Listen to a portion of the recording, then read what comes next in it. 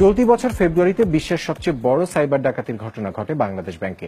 British cyber নিরাপত্তা প্রতিষ্ঠান বিএই systems সম্প্রতি এমন একটি ম্যালওয়্যার খুঁজে পেয়েছে যা বাংলাদেশ ব্যাংকের রিজার্ভ চুরির জন্য বিশেষভাবে তৈরি।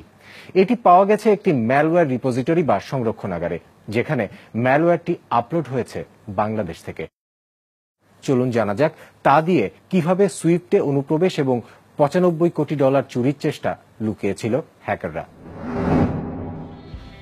বিএই সিস্টেমস বিশ্বের সবচেয়ে প্রভাবশালী নিরাপত্তা প্রতিষ্ঠানগুলোর একটি। তাদেরই গবেষক সের্গেই শেভচেঙ্কো দীর্ঘ একটি নিবন্ধে লিখেছেন কতটা দক্ষতার সাথে হ্যাকাররা চুরি করেছে বাংলাদেশ ব্যাংকের টাকা। লেখা শিরোনাম, দুই বাইট থেকে পঁচানব্বই কোটি ডলারে। এই গল্পের কেন্দ্রে একটি ম্যালওয়্যার যার নাম ইভেন্ট ডায়ালগ ডট ইএক্সি আকারে খুবই ছোট, মাত্র চৌষট্টি কিলোবাইট। তবু তথ্য চুরিতে এর দক্ষতা নজিরবিহীন। প্রতিষ্ঠানটি বলছে, প্রথমে হ্যাকাররা বাংলাদেশ ব্যাংকের কম্পিউটার নেটওয়ার্কে প্রবেশ করে এবং তাদের যে কম্পিউটারে সুইফট অ্যালায়েন্স সার্ভার রয়েছে, সেখানে ম্যালওয়্যারটি স্থাপন করে। এরপর তারা জিপিসিএ নামে একটি কনফিগারেশন ফাইল সেখানে অবমুক্ত করে। এই ফাইলের নির্দেশ ছিল ম্যালওয়্যারটি সুইফট ব্যবস্থা থেকে কোন কোন তথ্য সংগ্রহ করবে। সেই নির্দেশ অনুযায়ী ম্যালওয়্যারটি লাইবর এডিবি নামের একটি ডিএলএল ফাইল অনুসন্ধান করতে থাকে। সুইফট সার্ভারে কে প্রবেশ করছে তা শনাক্ত ও অনুমোদন করে এই ফাইলটি।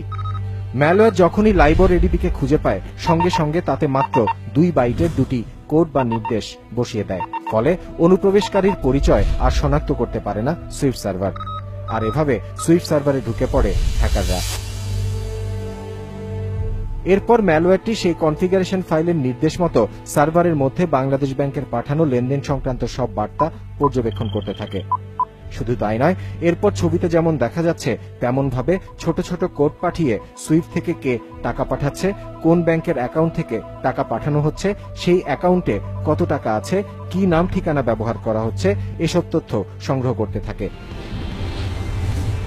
তারপর সেই তথ্য ইন্টারনেটের মাধ্যমে পাঠানো হয় মিশরে হ্যাকারদের একটি সার্ভারে। বিএই বলছে, এই প্রক্রিয়া চলতে থাকে ফেব্রুয়ারি মাসে ছয় তারিখ পর্যন্ত। তাদের মতে এটি প্রমাণ করে হ্যাকাররা শুধু কোডিং এই দক্ষতা নয়, সুইফট অ্যালায়েন্স সফটওয়্যার সম্পর্কেও তাদের ব্যাপক জ্ঞান আছে। ম্যালওয়্যারের পাঠানো তথ্যের ভিত্তিতে হ্যাকাররা ঠিক বাংলাদেশ ব্যাংকের মতো করেই অর্থ স্থানান্তরের বার্তা তৈরি করতে সক্ষম হয়।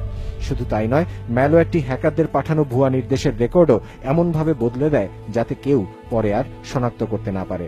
কিন্তু এটাই তাদের জন্য যথেষ্ট ছিল না, কারণ বাংলাদেশ ব্যাংক অর্থ স্থানান্তরের যে বার্তা পাঠায় তা কনফার্মেশন বা নিশ্চিত হবার পর চলে যায় প্রিন্টারে।